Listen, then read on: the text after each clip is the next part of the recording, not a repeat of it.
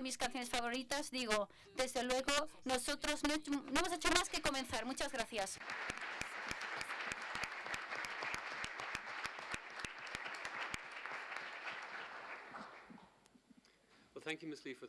Muchas gracias, señora Lee. Desde luego ha sido fantástico escuchar su intervención.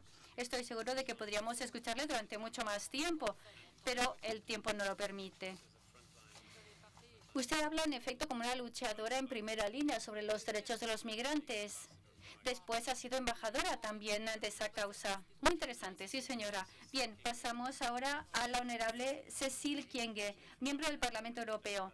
Nació en África, en la República Democrática de Congo, y ahora está en Italia.